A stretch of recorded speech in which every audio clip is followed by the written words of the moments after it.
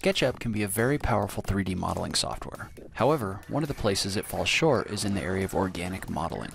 This toolset creates an all-new functionality in SketchUp, the ability to edit vertices. Plugin name, Vertex Tools. Plugin developer, ThomThom. Cost? Plugin costs $20 to purchase, but comes with a 30-day trial. One of the limits of a regular SketchUp installation is the fact that it's really a line and face editor, not a vertex editor. This means you can really only edit the lines and faces, but it's not set up to edit the vertices, or the points where the lines intersect. You can use sandbox tools to do this, but you run into both limited functionality and also instability. This toolset is specifically designed to help you edit vertices, giving you the ability to create organic models in a way that really isn't possible in a regular SketchUp installation. Where do you get it? You can get it in the extension warehouse, in SketchUp, or from the Sketchucation store.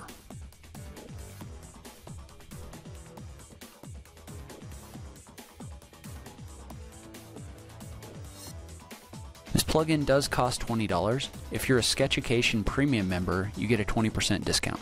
What this plugin does is allow you to edit surfaces by moving the intersections between lines. This allows you to create things like terrain or organic models very easily. To start, the plugin contains several helpful selection tools for selecting vertices. You can select vertices by square, circle, polygon,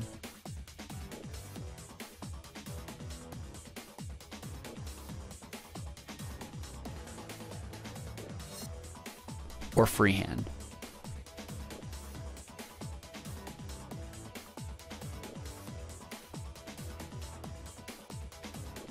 Anyone who's used the sandbox tools before will appreciate how easy these tools are to use.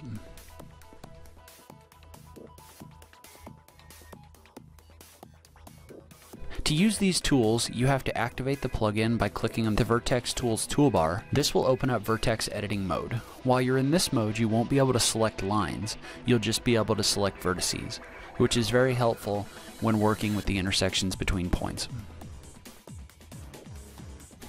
This tool allows you to move vertices along axes, rotate vertices,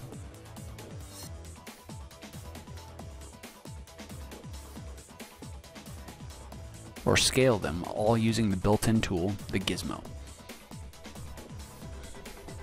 This tool allows both hard selection and soft selection. Hard selection means that all selected vertices move, and all the ones around them don't.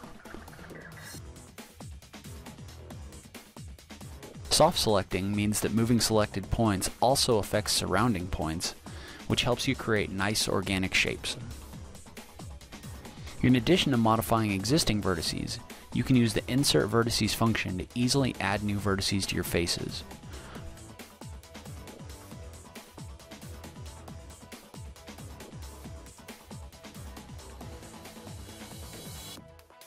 Or you can merge vertices into a single point using the Merge Vertices function.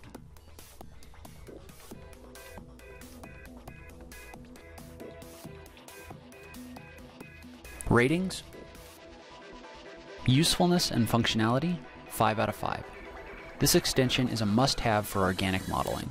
It gives SketchUp a completely new set of functions that make organic modeling easy and fun.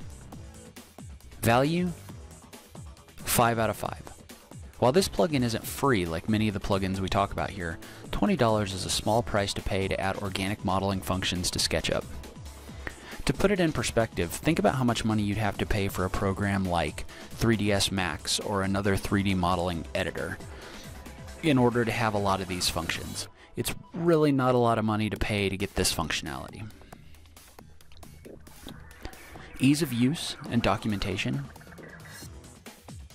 4 out of 5. The tools are fairly easy to use, it would be nice to see some more tutorials somewhere, maybe walking you through the creation of various items, or just showing you some different examples of the way things work. But if you watch some of ThomThom's videos on his YouTube channel, you can figure it out.